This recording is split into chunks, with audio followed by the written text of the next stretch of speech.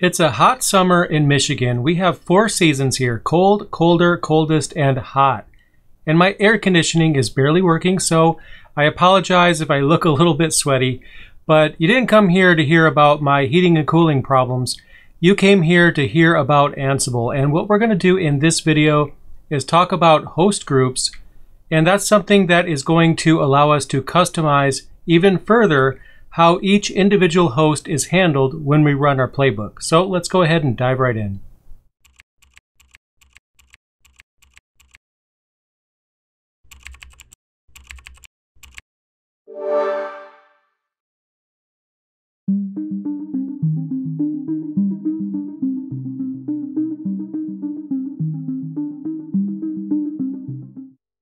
So before we get started, let's go ahead and take a look at our repository and make sure that we've committed all changes up to this point. And we have several changes here, and these changes all involve the implementation of roles, which is what we took care of in the previous video. Now the site before roles file right there, that is just a backup of the site playbook before we implemented roles. So I'm going to go ahead and add that one real quick. I'll go ahead and commit the change.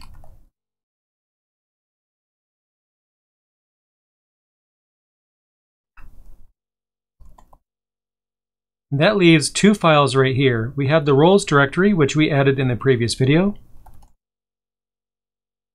And then let's go ahead and add the site file as well.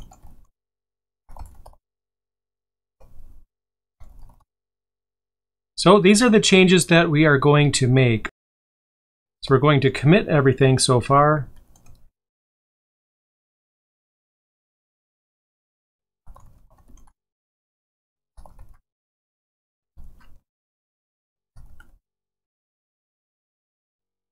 And now we are all set and ready to go. Now, in order to take advantage of host variables, we need to create a brand new directory that is going to store the files that are going to contain the variables and it's going to be this directory name right here.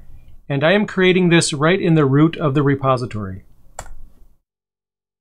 Now, if we take a look at the contents here, we have the roles directory, which we set up in the previous video.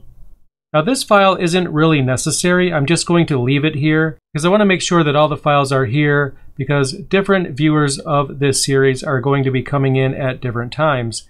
And I want to make sure that all the content is there, but technically if this was a real production repository, we could probably get rid of this. We have the bootstrap script right here, which you already know what that means, and you should know what the other files are as well. But now we have this host vars directory where we can actually put the files that are going to contain the variables. So I'm going to go into that directory. And first of all, let's go ahead and take a look at our inventory file because we want to basically create a host variables file for each of our hosts. And we have a few here, so we need to go ahead and create some host variable files for these. So I'll create the first one. And I'm going to name it after the IP address of the first server there at the top. Now, the name you want to give this is going to be either the IP address or the host name or the DNS name of your server. So if you have DNS set up, you would use that instead. Basically, whatever you are calling it in the inventory file, whatever that happens to be, that is going to be the name that you are going to give the file. It needs to match. And then you just add the .yml extension to it. So I'll press enter. And I'm going to create a few variables here.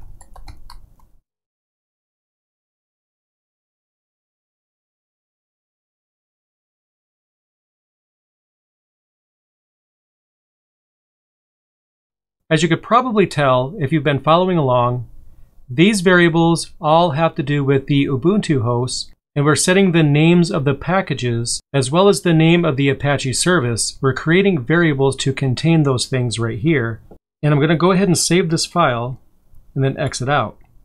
Now what I can do, because I'm lazy, is I'm just going to go ahead and copy this file and I'm going to copy it to the name of another server so I'll go ahead and copy that to server 133. And then I'm going to do the same thing for 134.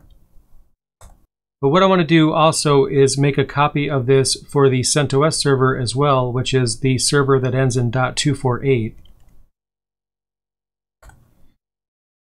And now I'm going to open up the CentOS server file right here in an editor because all these values are wrong. It was copied from the other file, which, you know, contains all the Ubuntu values for this. So we want to go ahead and get this corrected. So I'm going to change the name of the Apache package to HTTPD, and the same for the name of the service. And then the PHP package name on CentOS is simply PHP.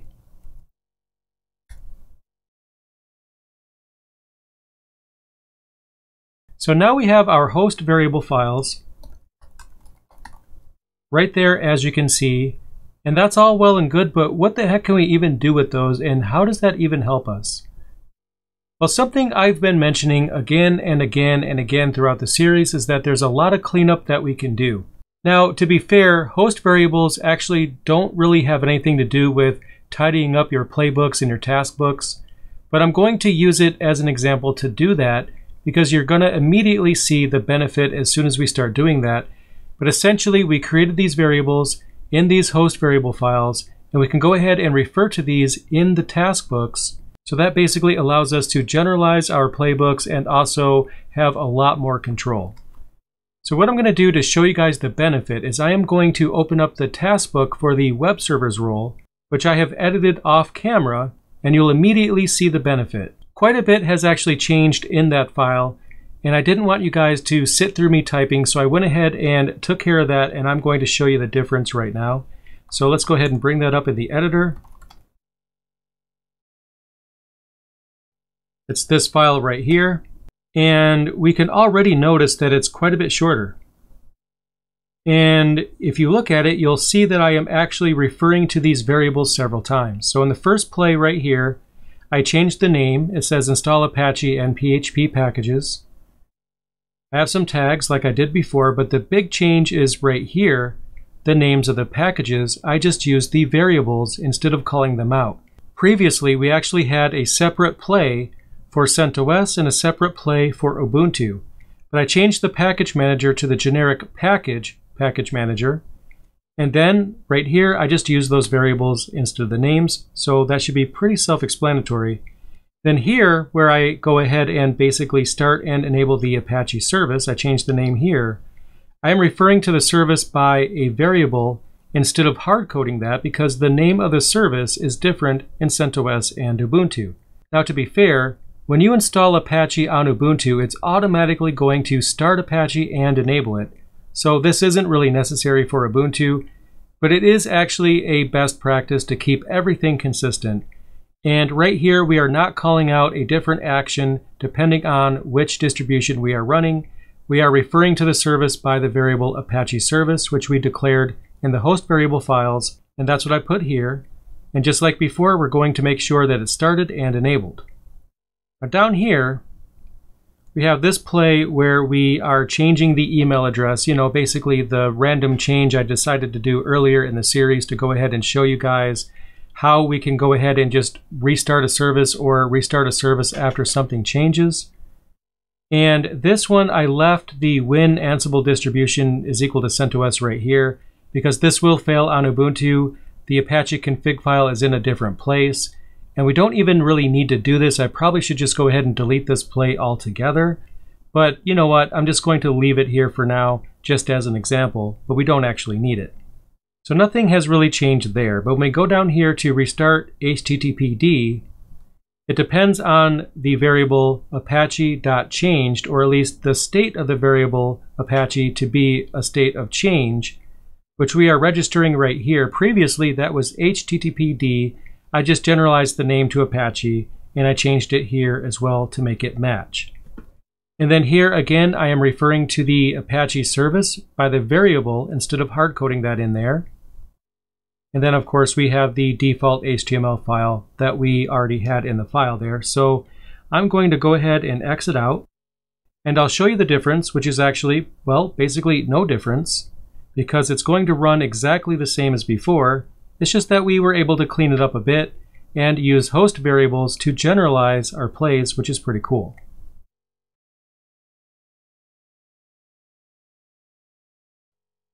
So again, nothing has changed, and implementing host variables, that hasn't really helped us a whole lot when it comes to running the playbook, but it certainly helped us quite a bit when it comes to actually managing our playbooks. It's easier to read and easier to manage, and it just looks cleaner. Now another concept that I want to show you guys is the concept of a handler. Now to illustrate that, I'm going to open up the taskbook yet again.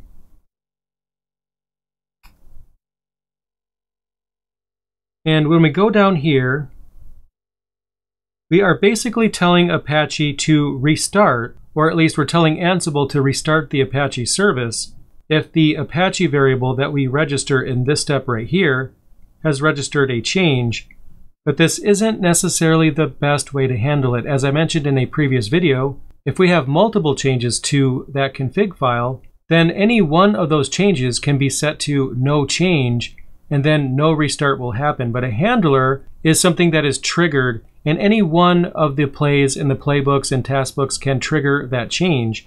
So let's go ahead and change this. So what I'm going to do is I'm going to actually just get rid of all of this right here completely. And I'm going to change register to notify. And what I want to notify is a play called Restart Apache. So I was able to remove an entire play out of here because we're basically going to do this somewhere else. I'm going to save this file and exit out. And let's go into the role directory for web servers. And that's where we have our files and our tasks. We're going to make a new directory though called handlers. And inside handlers, we're going to create a file called main.yml. And here I'm basically going to add the same play as before. I probably should have copied and pasted it. And I'm going to make the name of the play equal to the name of the notify that I've added earlier. I notified restart underscore Apache in the task book. I need to do the exact same thing here. And then what I'm going to do is add service. Then the name is going to be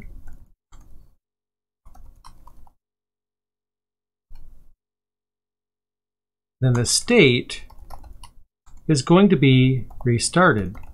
And that's basically all there is to it. So I'm going to save this. And if I were to go ahead and run this, nothing would actually change because, well, that's not going to be triggered unless it actually does make a change. So what I'm going to do instead is go back in here to task and let's edit that main.yml file, our task book here. Let's go down where we changed the email address and I'll just make a random change. I'll just say .com instead of .net. It's a change. I guess it'll work. So we'll just go with that. And we're going to go back here and then go ahead and run it. Now what should happen is that this is going to run and it's going to actually change that value in that file, the email address basically. And once it does that, we should see that it is going to notify the handler and then at the end, the handler will run and then restart Apache.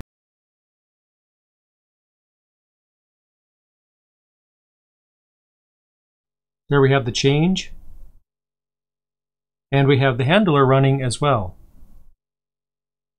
So it says changed equals 2. So if I scroll up here, we have the play to change the email address, which I changed from .net to .com, and it made the change. This change is specific to CentOS, but it's a good example anyway. Then we can see right here it's running handler restart Apache and then it went ahead and changed it there. So basically what happened is that this change actually triggered the handler to need to be run, and then it was run afterwards. And the value here is that you could have 10 different tasks, or however many, that all make individual changes to a file. If any one of them makes a change to that file, then this handler will be triggered and it will be run. And that works a lot better than running the register that we ran earlier, which doesn't handle multiple changes as efficiently as handlers do. But there you go. Let's go ahead and look at this one more time.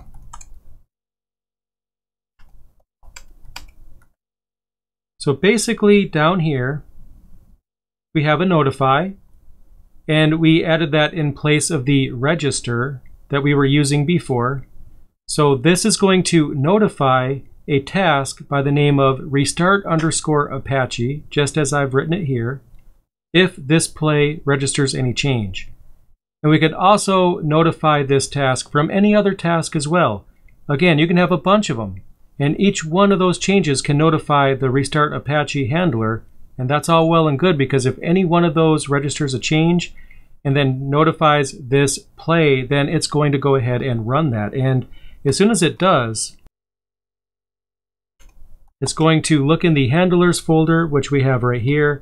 The file name is basically the same but it's going to look for a task that has that exact name in it, which it's going to find right here.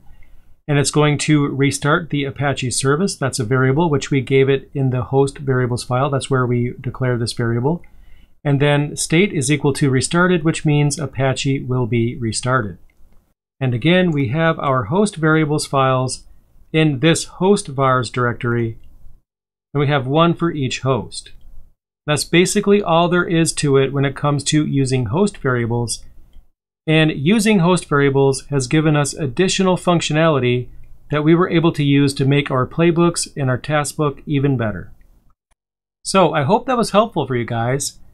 And in the next video, which is actually going to be the last video in this series, we are going to take a look at templates. And I will see you there as soon as I have that uploaded. Thanks for watching.